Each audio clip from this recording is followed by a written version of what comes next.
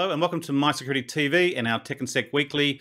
My name's Chris Cubbage. I'm the executive editor and director with My Security Media. And today we're joined by Matthew Warren, professor of cybersecurity, College of Business and Law, and director of the RMIT University Centre for Cyber Security Research and Innovation. Uh, obviously, there at RMIT University in Melbourne. Matthew, thank you so much for joining us.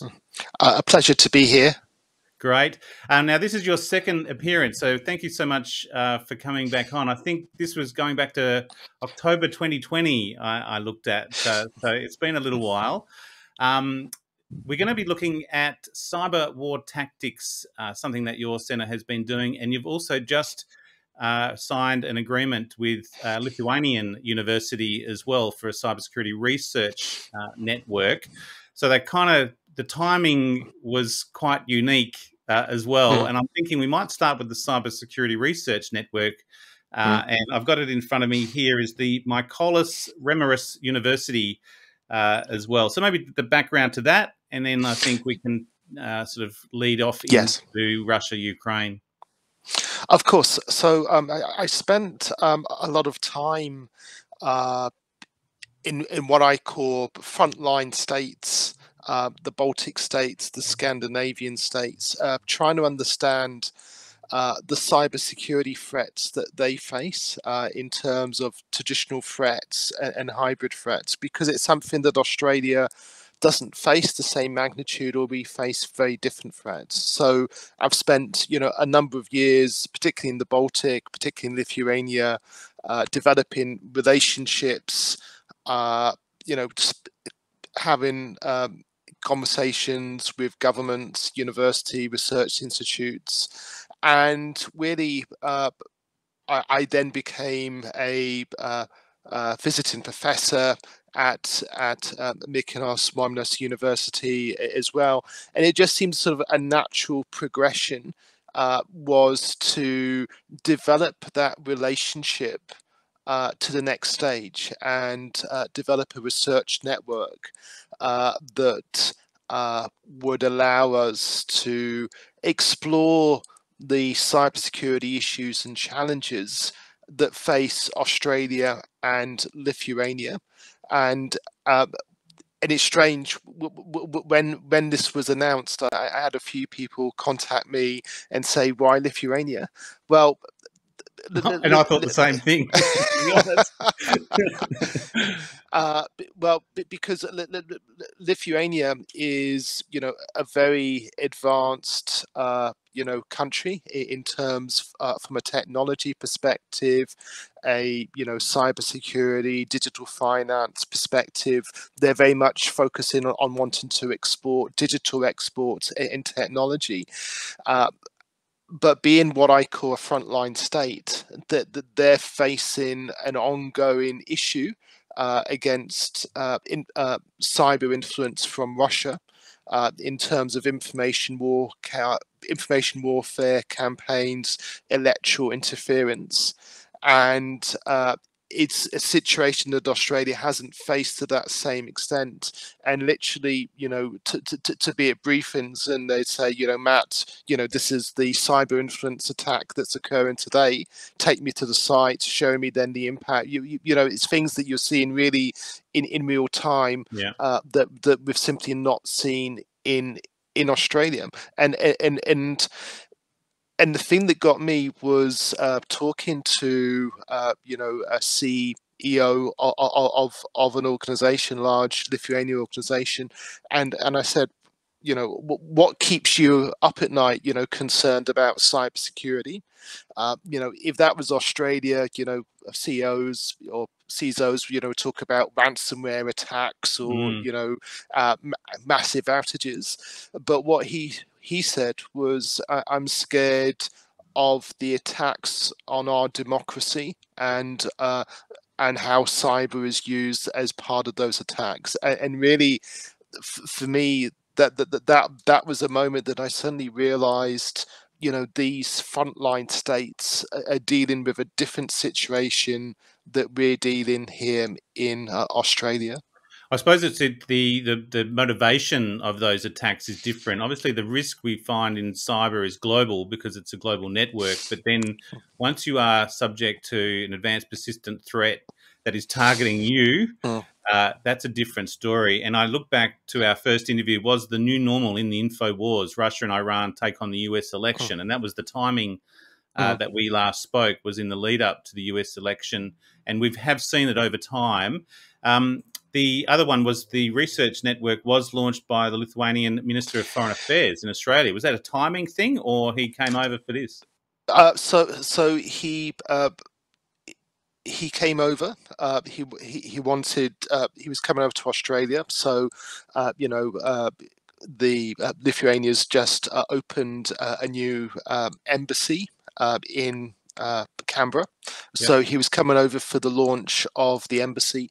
So it made sort of perfect timing uh, for um, Gabrielius um, Landsberg uh, to mm-hmm. open uh, open the forum, uh, which he did, and uh, and and it's you know one of the things I found in Lithuania is is is speaking to their uh, politicians of, of, of all their parties is the passion that they have about Lithuania, the passion that they have about their country and protecting their country, and and and it, in something I, I haven't sort of seen in in Australia because Australia's not in that that position.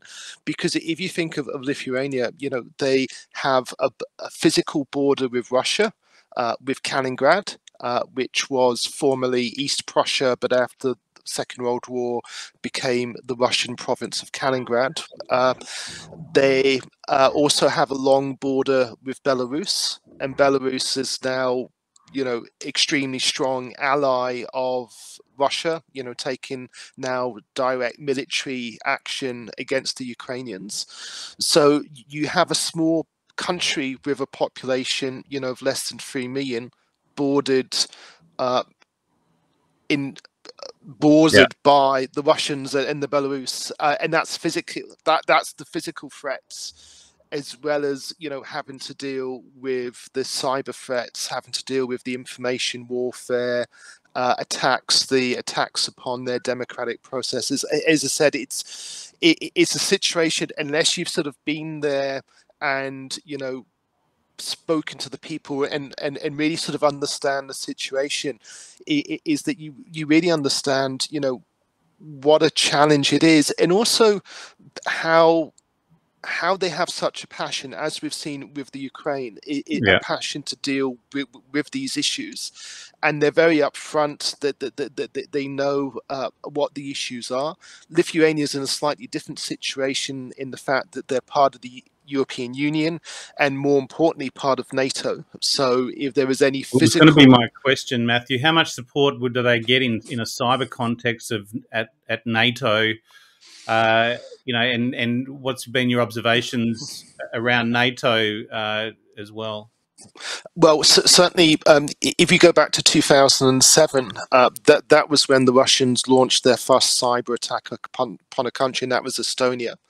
So, what happened in Estonia was that the Estonians wanted to physically move uh, a statue out of the center of Stalingrad, uh, and the statue uh, was uh, to celebrate the Soviet liberation of uh, of of Estonia, uh, and they wanted to move the Soviet era statues to a park just outside Tallinn. So they weren't wanted to destroy it; they were just wanted to put all the Soviet era statues in a memorial park. Uh, and and that's what they did. Uh, the uh, Soviet, uh, sorry, the, the, Russian minority population um, in Estonia were influenced by information uh, from Russia and rioted.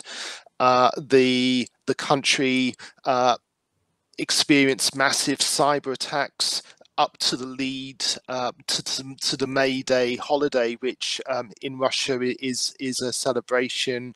Uh, you know, around uh, the liberation of, of, of, of Europe and the defeats of, of Nazism. So after, and that was a cyber attack upon a NATO country And in 2007, NATO didn't know how to deal with a cyber attack. So what NATO did was develop a you know a cyber center of excellence, which is uh, based in Tallinn in Estonia. Uh, they now deal cyber as a direct threat. They increased their infrastructure, increased their capability. They also developed a law manual called the Tallinn Law Manual, which describes the legal framework in which a cyber warfare stroke information warfare campaign can be conducted. So, so, so since 2007, NATO really has stepped up in this cyberspace to deal with this cyber threat because pre 2007, pre the Estonian incident, they simply were not aware that this could happen or not aware of the impact and magnitude.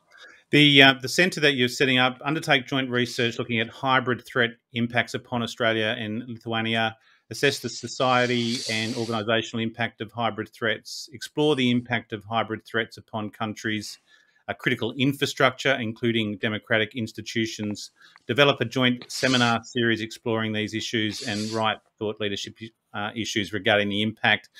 And just coming back to NATO, so I think one, it's great to have that connection uh, with a mm. country like Lithuania, and I think Australians are learning a lot more about uh, Eastern mm. Europe right now with mm. Ukraine.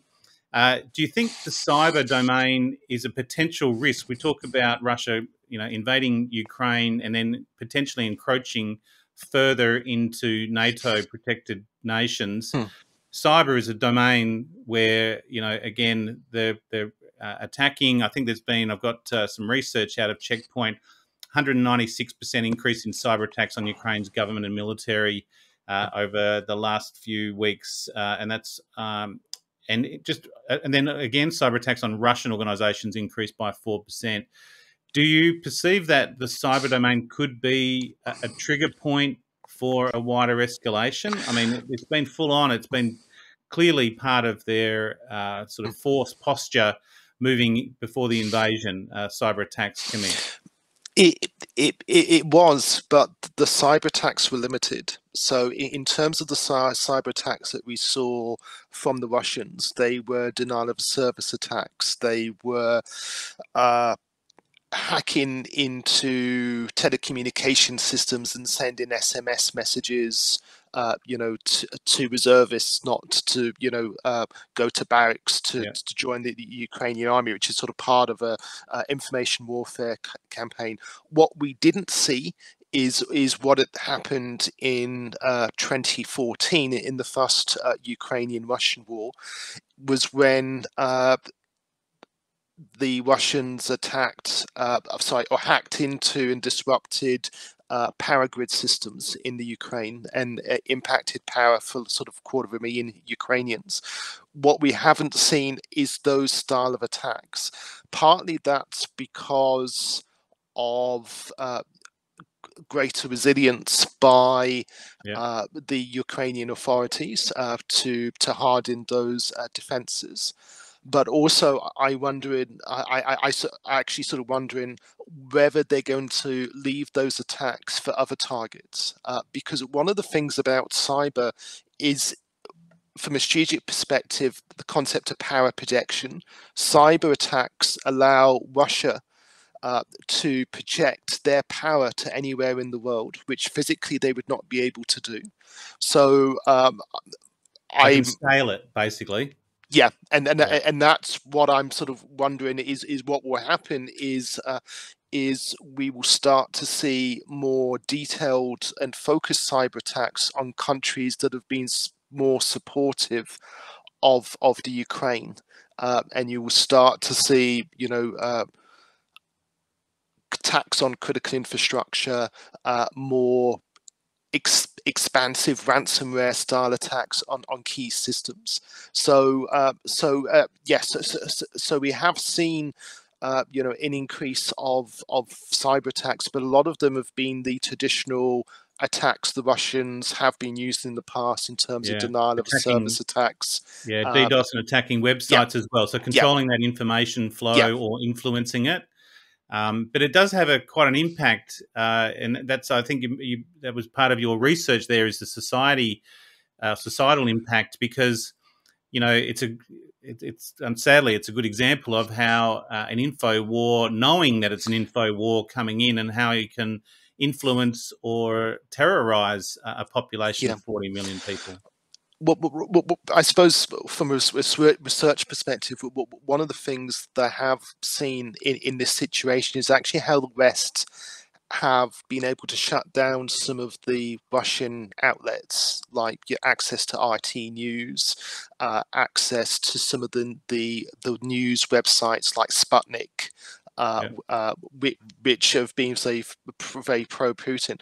One of the things I have noticed is how effective the Ukrainians have been in their information warfare campaigns uh, to the rest of the world. You know, in terms of the daily pictures of Russian equipment that's been uh, destroyed or captured, the Russian prisoners uh, that have been uh, captured and are being interviewed and you know saying you know we, thought we were just going on a training course. We, we, we, don't want to be here, and and then that's being direct back against the Russians, and and and, and, and you're starting to see the early stages of the Russian population you know, not supporting the war. So I think that the Ukrainians have been extremely successful with their own information warfare capabilities. And I think that's something that the Russians had not considered themselves that they would have had that capability of being so successful with it. it it's a hard one to predict, though, isn't it? Uh, because we talk about it, it's beyond just a cyber attack. And I was going to ask you in terms of is this information warfare? Uh, it's not cyber uh, security and cyber attack, but they but they are interdependent and interlinked. Mm. are they not? They, they, they are so so, so really. Uh, the, the, the, there's the two aspects. There's the cyber warfare attacks, which is where you use cyber means to attack infrastructure. There's then the information warfare, uh, disinformation aspects, which uses some of those cyber attacks. So again, it, it, it's it's putting forward a narrative. It's trying to persuade uh, you know populations to think a certain way, to disengage them from from democratic processes, and, and, and they are well, sorry to interrupt, but then I was just thinking, I'm thinking aloud, I beg your pardon, but then there's a cyber crime uh, envelope over that where you have third party actors coming in and conducting scams and raising money. And, yeah. You know, it's uh, it's a messy business. Yeah, and, and and then you've got yeah the uh, the the third party. So so in terms of the Russian context, what they what the, the, the groups that they use is they use the government capabilities like the GRU intelligence organizations. Uh, they use uh, the hacker groups, the ATP groups, to act on their behalf. Many of those are involved in uh, ransomware attacks themselves as a as of generating income. So you know they're being able to sort of direct ransomware, you know, not with the idea of of making money, but the idea of locking down sort of systems. And then you've got this concept of the cyber militia, uh, which is what the Russians used in 2007, is which was Russian patriotic hackers who hacked on their behalf. As you said, it's those people on the fringe who are either scamming, who, who are who are trying to cause disruption. But again, this is something that the Russians have uh, have really not understood is that the Ukrainians themselves have now developed a, a cyber militia globally. Um, and I see Anonymous the, have declared war on Russia as well, right? Yeah. So so you've got the uh, you've got uh, Anonymous, uh, which is a distributed hacking group uh, undertake activities against Russia. You've then got the uh, Russian government set up what, what they call a, a sort of a cyber army and, and uh, through their Telegram channels distributing information on, on targets that should be attacked, trying to organize, uh, you know, uh, hackers around the world, but, but also particularly in, the Ukraine to you know uh, attack. We, we saw, uh, I think it was outside St. Petersburg, where they had uh, electric charging points for electric cars that had been uh, hacked by a Ukrainian company through a back door, and they had messages on them saying, you know, wow. derogatory things about Putin, uh, and it was uh, across the entire system. So I, I, think this is something that the, the Russians always thought that they were at the forefront of this, and they're now they're now being a victim of the same sort of attacks, uh, which again will have an impact on the Russian population because what's happening is the Russian population are being told one thing by official news. They're seeing the value of the ruble collapse. They're seeing the economic damage. Now they're getting uh, information from other sources. Uh, you know that is contrary to the narrative that they've been given, and, and, and this is you know where I think you, you're going to sit, start to see problems within within Russia itself. And it, who do you trust, and what information source do you trust? Uh, and it really is that technology divide. I think uh, I just want to bring it in, and I'm conscious of time, but uh, it's a fascinating conversation, and I, I put sadly under everything uh, that we're talking about, but I want to put it in the context uh, of our own region and Australia China relationship because technically we are we're not on the doorstep, but uh, certainly in a cyber context, uh, there is a history there of China using uh, cyber as an influencer. Um, how how much uplift do you think that we need to have here in Australia in that context? Because you know, not the kinetic mm. war, but the the cyber warfare yeah. is almost underway. So, so, so, so certainly, I, I, think the last time we spoke, uh, I talked about the new normal, and and, and, and yeah. the new normal is all of Australia is at potential risk of cyber attacks from state threat actors. And, and that's government, that's organizations, small business, individual citizens. And what as a country we need to do is to have that whole of country response, which is what uh, the Australian government has done, and, and and really that shines through with the 2020 cybersecurity strategy. We have the Australian Cybersecurity Centre, uh, you know, uh, leading that awareness of of what uh, you know companies should do in terms of hardening the the, the, the cyber. But but this is, is simply the new normal. The, the Chinese cyber approach has been different than the Russians. Uh, what they're after is really information that gives them a competitive advantage, whether that's IP, whether it's things that can be used in, in an intelligence perspective. Uh, in terms of their information warfare campaigns, what they're really wanting to do is uh, counter any narrative around their narrative, their worldview. So their worldview is around, you know, the one China, you know, the Sikh, uh, the Sikh, Sikh uh, sorry, Silk Belt, Belt initiatives, yeah. and and what they want to do, you know, is to be able to lock down and counter any narrative uh, that's against that. So, uh, so they're both state threat actors, but they're very different in their sort of capability and how they how they want to use cyber warfare or information warfare.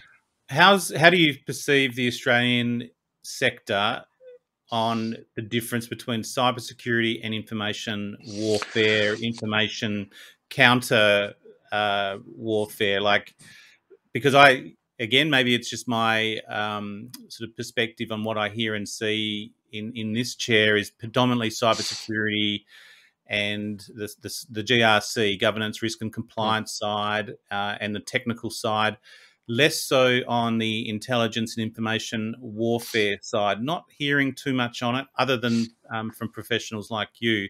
How do you do? You see um, the industry there, or do you think there's a lot of uplift there yet to go? I, I, think I think certainly in cybersecurity there's been a huge uplift. Uh, in terms of the information warfare, I, I think that's an area Australia still has to to grow its its capabilities, and and again that that isn't a criticism. It's literally the fact that Australia's not been in the same situation as I would call you know the frontline states of the Baltic yeah. well, Mike or the Burgess, Scandinavia. Yeah, if you think Mike Burgess, head of ASIO, is coming out and saying that there is uh, sort of foreign influence mm. uh, and is sending some signals that, that some uplift is required. Uh, so it will be interesting, and uh, I'll give a shout out to the Australian Institute of Professional Intelligence Officers. Uh, mm. I think as well, it comes, I think, down to uh, the more traditional um, black. Uh, I'm trying to think how what how they used to term it, but uh, the traditional form of intelligence, but in a information sense, right? Yes, and and again, the government's uh, the government will make those changes in the future. Uh, again, the what we have seen is the, the Australian government has reacted to the change in security environment, whether that's cyber or, or kinetic.